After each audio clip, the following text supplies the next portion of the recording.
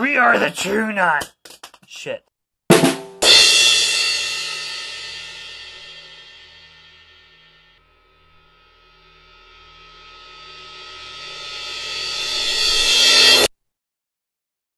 Hey folks, welcome to my review of Stephen King's Doctor Sleep, the sequel to The Shining.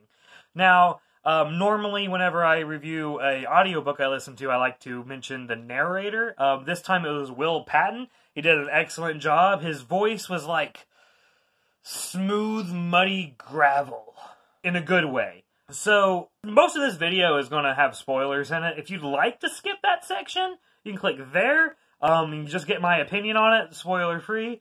But, uh, if you're okay with spoilers, then buckle up, buckaroo, because here we go. So after the events of The Shining, Danny and Wendy, uh, and Dick Hallorann, because remember, he's alive, they all just go live their lives. But Danny is still haunted by the, some of the ghosts from the Overlook Hotel. Remember, the Overlook was destroyed at the end of the book in The Shining. After Danny's been haunted by these uh, ghosts um, for a little bit, Dick ends up coming over and uh, shows him how he can basically kind of like lock those ghosts up in a box in his head, which that would have been maybe useful knowledge whenever he was living at the Overlook Hotel, Dick Hallorann, but you know, at least he knows now. After he learns how to do that, uh, Danny grows up into Dan, and he kind of becomes, well, an alcoholic. Um, at the lowest point in his in his life, uh, he wakes up next to a girl after a night of cocaine and drinking.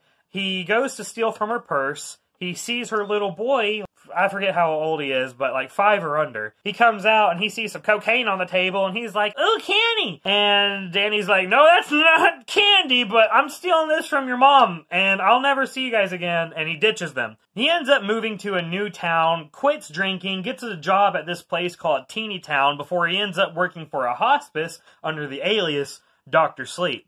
What he does as Dr. Sleep is, um, well, when a cat comes in a person's room, he'll go in there and help him die. The person, not the cat. I know that sounds weird. That's that's what he does. They gave him the name Dr. Sleep. Dan also has this long lost niece, who we don't know is his long lost niece until like way later in the book. But remember, this is the spoiler section. Anyway, her name is Abra. She's got. Whoa, it got dark in here. But anyway, she's got like Professor X levels of The Shining. Meanwhile, these uni-tusk vampire people called the True Knot, who disguise themselves as regular RV folk, um, drive around from town to town, basically looking for little kids who have The Shining, torturing them until uh, their shining leaks out of their body in the form of steam, which they then eat and murder the child and move on to the next town.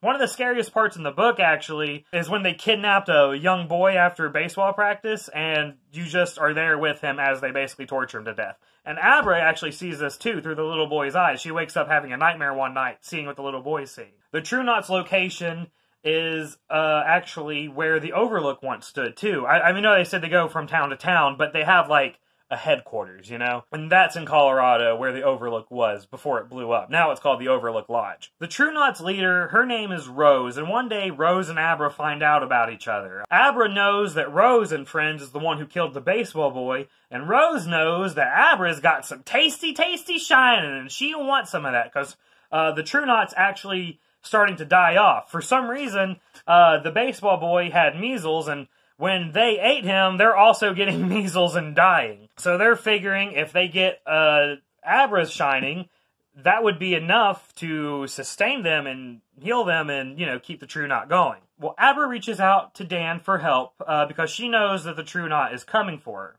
Dan, her dad, her old pediatrician, and some old guy that Dan works with all end up teaming together to basically the whole kidnapping party that was sent for Abra uh, they take them down no problem. That is except for one guy. His name is Crow Daddy. He actually does end up kidnapping Abra for a little bit. But it's not that big of a deal, because with the help of Dan, he and Abra use their psychic powers to make the guy blow his brains out. So, you know, no big whoop. Well, obviously, this has made Rose mad, and then Abra and Dan decide that their next move is to go to Rose's turf and then just, you know, challenge them there. they basically kill everyone else in the True Knot pretty easily, along with the help of Abra's dead grandma and uh, Dan's dead dad, who is obviously Jack from The Shining. His ghost is, I guess, still at the Overlook Hotel, well, the Overlook Lodge, and he helps them out at the last second a little bit. Basically, after that, they live happily ever after. And though it wasn't a bad book by any means, it's maybe my least favorite Stephen King book so far. Keep in mind, I've only read four. The scariest part was probably, like I said, when the True Knot was killing the baseball boy. Another scary part was when Danny, as a boy, saw the girl from 217 in his own bathroom.